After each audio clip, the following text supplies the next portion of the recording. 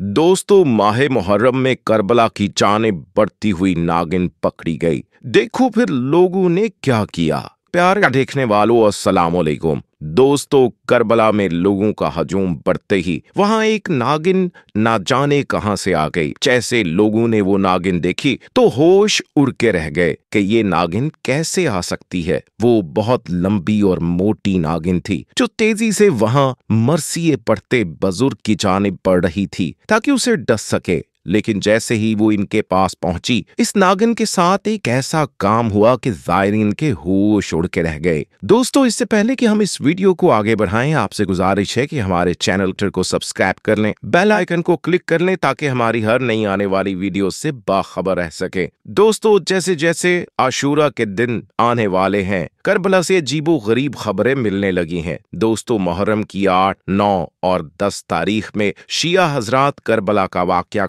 कई बार सुनाते हैं और जायरीन वो वाक्य सुनते हुए आप दीदा हो जाते हैं। इस बार भी ऐसा ही कुछ हुआ था। जब एक शिया इमाम साहब जायरीन को करबला का वाक्य सुना रहे थे, खुद भी रो रहे थे। तमाम जायरीन ने काले रंग के लिबास पहने थे। मर्दों के साथ साथ पर्दे के एहतमाम में दूसरी जानब खातन भी बैठी थीं, जिनकी सिस्कियों की आवाज़ें बुलंद हो रही थीं। सभी इस वाक़े में खो चुके थे। वहाँ मौजूद जायरीन को लग रहा था कि जैसे उनके सामने करबला का मैदान मौजूद है और जो वाकयात उन दिनों करबला के मुकाम पर हुए थे, वो अपनी आँखों से देख रहे हैं। इसलिए रोना और तड़पना वाकई मामूली बात नहीं थी। मुहर्रम के इन अयाम में सिर्फ़ शिया हजरात ही नहीं, हर मुसलमान अपने दिल में इमाम हुसैन सलाम के लिए ऐसे ही जज्बात रखता है। दोस्तों इसलिए हर मुसलमान की यही कोशिश होती है कि इस वाक़े को याद करके सहाबा इकराम और सहाबियात और इनकी कुर्बानियों को याद करके उनके लिए दुआएँ की जाएँ। गोया के वो सब लोग शहीद हुए थे और शहादत का दर्जा सब पा चुके हैं और इनशाला जन्नत के आला मुकाम के हकदार हैं, लेकिन फिर भी जब लोग करबला का वाक़ सुनते हैं तो अपने जज्बात पर काबू नहीं पा सकते और अपनी सिस्कियों और राहों को रोक नहीं सकते। दोस्तों, वहाँ पर भी ऐसा ही माहौल बना हुआ था। हर आँख अश्कबार थी। जब वहाँ पर एक नौजवान को प्यास महसूस हुई, वो अपनी जगह से उठकर पीछे की जानब से बाहर निकला, ताकि बाहर बड़े बड़े रखे हमाम में से पानी पी सके, जो कि खास तौर पर जायरीन के लिए रखे गए थे। जिस जगह हमाम रखे गए थे, उस वक्त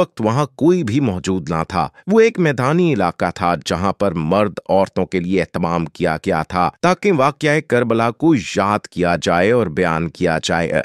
इसी तरह वहाँ पर पानी पीते हुए उस शख्स को लगा जैसे कोई बहुत बड़ी सी चीज़ रेंगती हुई गुजरी है, और उस चीज़ का रुख उसी जानब है जहाँ पर इमाम साहब बयान कर रहे हैं। जब उसने पलट कर देखा तो उसकी आँखें फटी की फटी रह गईं। वो एक सांप था जो कि काफ़ी लंबा और मोटा ताज़ा था। इतने बड़े सांप को वहाँ जाते देखकर दोस्तों, उस सायरीन की तो जैसे चाँद निकली थी। उसने वहीं से सांप सांप कहकर चिल्लाना शुरू कर दिया। ये सुनकर वो सांप फ़ौरन अंदर चला गया था। ये देखकर उस शख्स को और भी परेशानी होने लगी। कुछ ही देर में अंदर चीखने, चिल्लाने की आवाज़ें आने लगी थी, क्योंकि सबकी नज़र उस सांप पर पड़ चुकी थी। अंदर का शोर सुनकर वो शख्स अंदर की चाने बढ़ने लगा। जैसे ही अंदर गया, लोग सांप को देखकर पूरी तरह से घबरा गए थे। एक शख्स कहने लगा कि ये नागिन है और बहुत सहरीली नागिन है। अगर किसी को काट ले तो उसकी जान बचाना मुश्किल हो जाती है। हैरान कुन बात यह थी कि आखिर वो नागिन सबको छोड़कर बस इमाम साहब की चाने भी क्यों बढ़ रही थी? इस वक्त वहाँ मौजूद लोग बेहद खौफजदा हो गए थे, लेकिन हैरान कुन बात यह थी कि वो नागिन सीधा इमाम साहब की तरफ़ जा रही थी। ये देखकर लोगों को हैरत हो रही थी कि वो बिना किसी को नुकसान पहुँचाए बस इमाम साहब की जाने भी बढ़ रही है।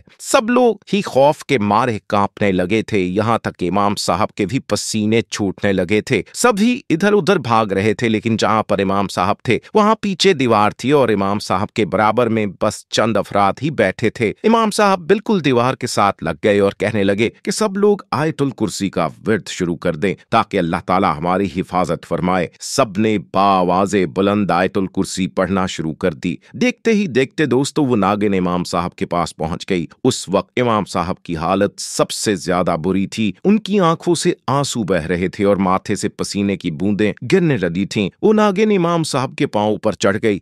ये देखकर सबकी चीखें बुलंद हो गईं और इमाम साहब को लगा कि बस सब वो नागिन उन्हें टस लेगी। नागिन उनकी टांग पर चढ़ने लगी और चढ़ते चढ़ते उनके पेट तक पहुँच गई। उस वक्त इमाम साहब बुरी तरह से थर थर काँप रहे थे। उन्हें यूँ कांपते और थरथड़ाते देखकर लोग आयतल कुर्सी का विरद और भी ज़्यादा बुलंद आवाज़ से करने लगे और इमाम साहब की ज़िंदगी की दुआएँ करने लगे। एन उसी वक्त उस नागिन ने इमाम साहब की गर्दन में पहुंचकर जैसे ही उनकी गर्दन पर डसना चाहा, इमाम साहब ने कलमा पढ़ना शुरू कर दिया और फिर वो नागिन उन्हें डसे बिना ही पीछे की जानब चली गई और वहाँ मौजूद एक शख्स को डसकर वो नागिन वहाँ से वापस चली गई। वो शख्स वहीं तड़पने लगा। ये देखकर सब हैरान कि आखिर नागिन ने उसी एक शख्स को डसकर वापस क्यों चली गई और पहले इमाम साहब के पास क्यों आई थी? वो शख्स चंद मिनट तड़पने के बाद मर चुका था। सब लोगों को उस शख्स का बेहद अफसोस था। सबने ये कहा कि इसे गुसल देकर दफना देना चाहिए। जैसे ही उस शख्स को गुसल देने के लिए उसके कपड़ों को उतारा गया तो उससे जो कुछ बरामद हुआ, वो देखकर सबकी आँखें फटी की फटी रह गईं। सब हैरान थे। किसी को भी ये खबर नहीं थी कि वो शख्स कौन है और किस इरादे से आया था। दोस्तों, वो शख्स दुश्मन इस्लाम था और जान कर काले लिबास को पहनकर वहाँ पर मरसी सुनने नहीं आया था, बल्कि उस शख्स का इरादा कुछ और ही था। जब उसके बारे में तहकीक की गई तो पता चला कि वो ना ही मुसलमान था और ना ही शिया मसलिक से। उसका कोई ताल्लुक था, बल्कि वो यहाँ पर तबाही फैलाने के इरादे से आया था। फिर लोगों ने जब इस बात पर गौर फ़िक्र की तो उन्हें याद आने लगा कि जब से महफिल शुरू हुई थी, महफिल शुरू होने के बाद वो शख्स आया था। लेकिन उसकी कोशिश ये थी कि वो इमाम साहब के बराबर में बैठे, इसलिए लोगों को हटाने लगा। जो कि आदाब के खिलाफ है। सब लोग कहने लगे कि बाद में आने वाले को पीछे बैठकर सुनना चाहिए, लेकिन वो कहने लगा, मैं बहुत दूर से आया हूँ और मेरी ख्वाहिश है कि मैं इमाम के साथ बैठकर बयान सुनूं। वो शख्स बड़ी मिन्नत समाजत से कहने लगा।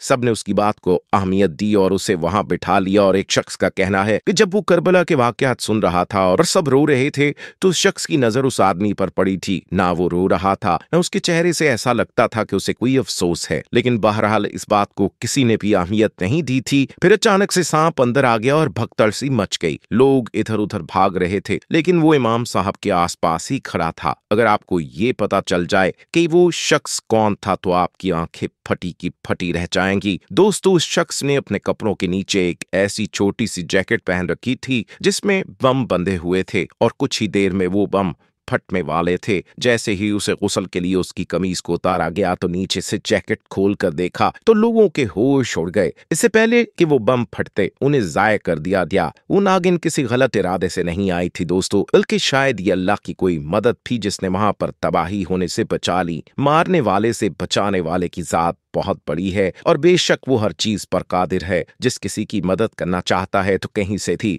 असबाब पैदा कर देता है। और यहाँ तो मामला आप सल्लल्लाहु अलैहि वसल्लम के नवासे का था। उम्मीद करता हूँ कि आपको मेरी आज की यह वीडियो पसंद आई होगी। अगर पसंद आई है तो मेरे चैनल को सब्सक्राइब करें और उसे दूसरों के साथ भी लाजमी शेयर करें। आपका बहुत बहुत शुक्रिया।